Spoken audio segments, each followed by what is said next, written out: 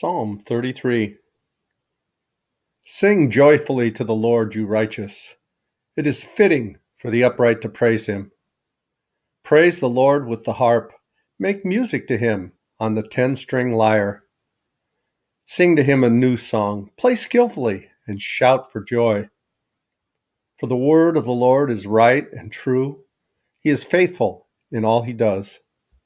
The Lord loves righteousness and justice. The earth is full of his unfailing love.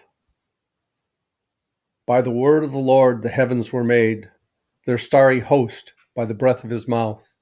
He gathers the waters of the sea into jars, he puts the deep into storehouses. Let all the earth fear the Lord. Let all the people of the world revere him. For he spoke and it came to be.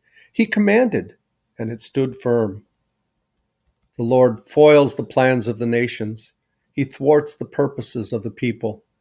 But the plans of the Lord stand firm forever, the purposes of his heart through all generations.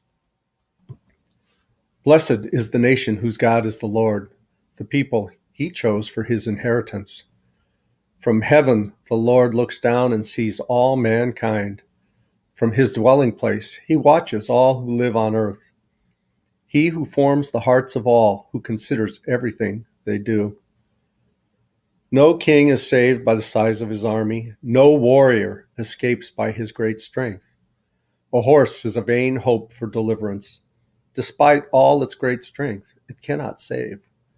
But the eyes of the Lord are on those who fear him, on those whose hope is in his unfailing love, to deliver them from death and keep them alive in famine. We wait and hope for the Lord. He is our help and our shield.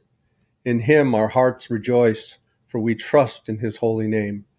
May your unfailing love be with us, Lord, even as we put our hope in you.